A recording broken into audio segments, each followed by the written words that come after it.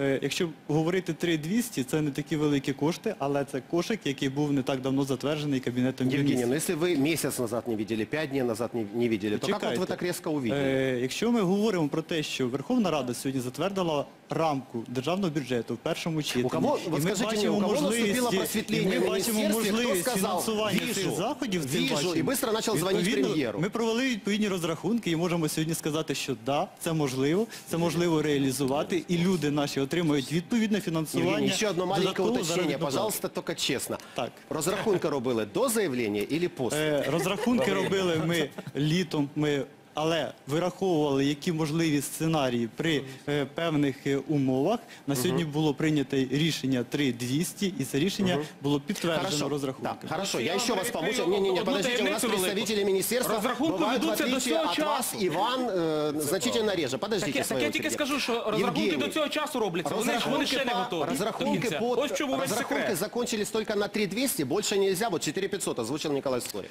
Е, ну, я вважаю, що потрібно бути реалістами. 3200 – це ті, той ресурс, який ми можемо збалансувати в бюджеті. Відповідно, ми переконані, що це, саме цей ресурс е, мають отримати. отримати. денег на 3200 точно хватит.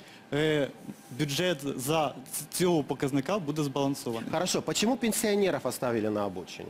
Почему Е, им Прем'єр ничего не сказав, що на сьогодні ми працюємо над тим, ми, щоб е, провести осучаснення пенсій. Проте, я ще раз хочу повторити, потрібно не говорити, а потрібно на конкретних розрахунках, по конкретних підходах дати відповідні цифри і сказати, що ми можемо це реалізувати. Відповідно на цим ми на даному уряд етапі же дав працюємо. цифри,